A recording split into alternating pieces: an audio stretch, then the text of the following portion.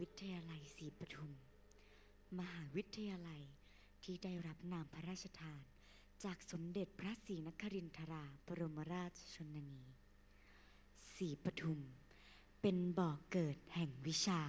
ที่เบิกบานเช่นดอกบัว เราคือมหาวิทยาลัยเอกชนหนึ่งในห้าแห่งแรกของประเทศไทย ที่ผลิตบัณฑิตที่มีคุณภาพ มีคุณธรรม มามากกว่า 153,000 คน ตลอดระยะเวลา 53 ปีที่ผ่านมา ทั้ง 3 วิทยาเขต 15 คณะ 55 สาขาวิชาที่เปิดทำการเรียนการสอน คือเครื่องการันตีทุกก้าวของความสำเร็จ จากปณิธานอันแน่วแน่ของท่านผู้ก่อตั้งมหาวิทยาลัยแห่งนี้ ท่านดอกเตอรสุขพุกขยาพร ท่านตั้งปรัชญาไว้ว่า การศึกษาสร้างคน คนสร้างชาติ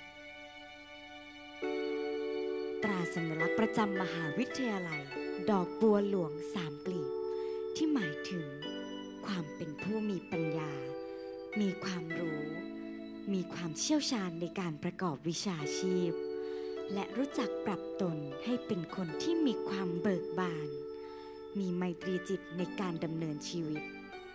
และสัญลักษณ์รูปหกเหลี่ยม เปรียบดังทิศทั้งหกในพระพุทธศาสนา ที่สะท้อนถึงความมีคุณธรรม มหาวิทยาลัยศรีปทุม คือสถาบันการศึกษาที่หล่อหลอมให้ปัญญาชนในยุคนั้น เจริญเติบโต มีความรู้มีจิตใจที่เปลี่ยนไปด้วยคุณธรรมจากเนื้อแท้ 28 พฤษภาคม พุทธศักราช 2513 วันแห่งจุดเริ่มต้นของบ่อเกิดแห่งวิชาที่เบิกบานเช่นดอกบัว